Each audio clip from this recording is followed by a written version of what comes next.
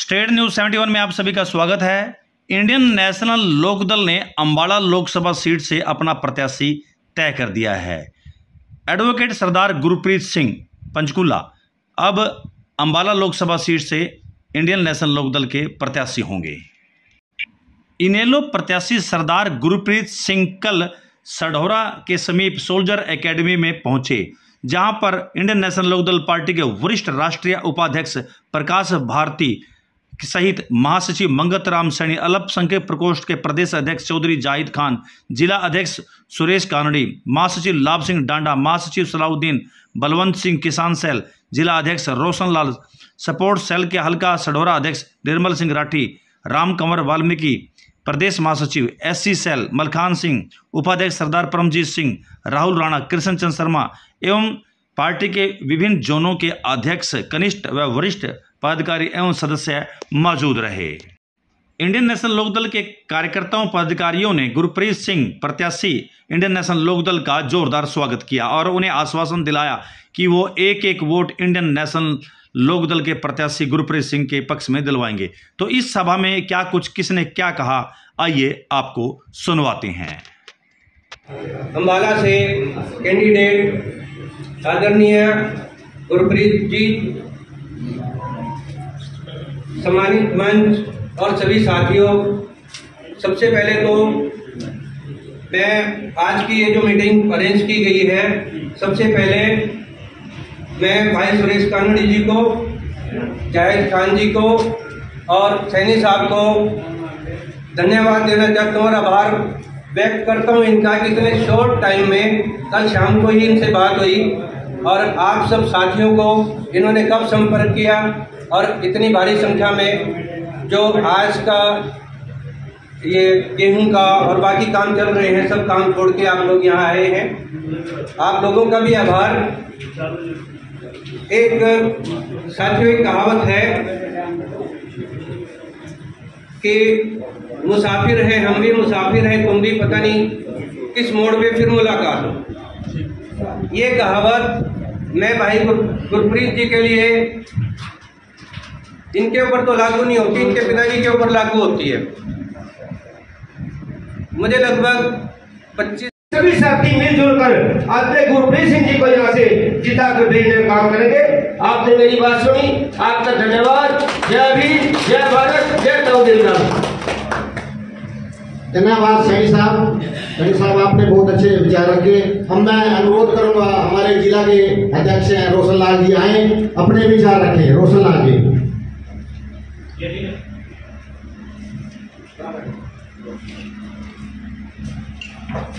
Indian National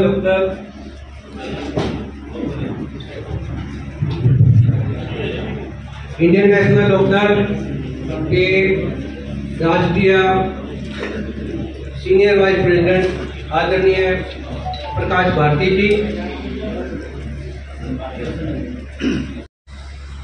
और जब वो पहली बार हमारे बैंक में आए, उन्होंने कहा कि हमें कोई भी बैंक हेल्प करने को तैयार नहीं है, जबकि उनको गैस एजेंसी अलाउड हुई थी। हमने सबसे पहले इनको वहाँ पे वेलकम किया और इनकी सबसे पहले जो लिमिट है, वो बैंक ऑफ़ महाराष्ट्र ने इनको बना के दी। और ये कल चंडीगढ़ में जब थे तो इनके पिताजी ने मुझे पहचाना कि आप कंसल साहब हैं।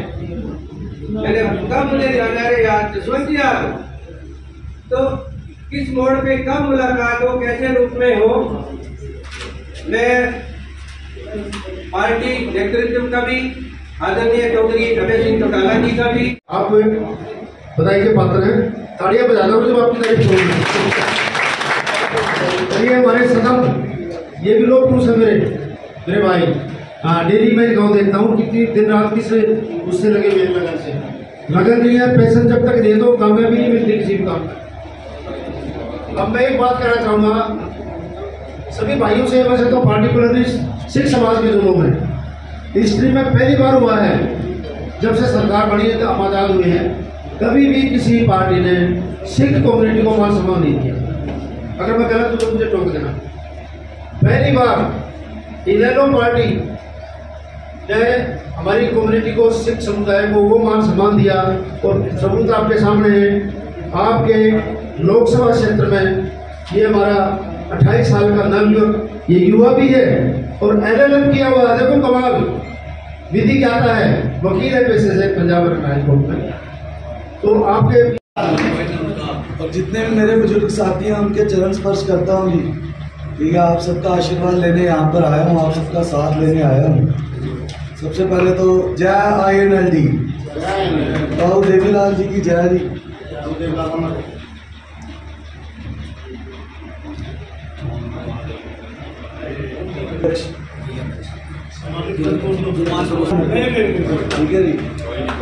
पहला इलेक्शन है, पर आप सबका साथ चाहिए जी यहाँ पर।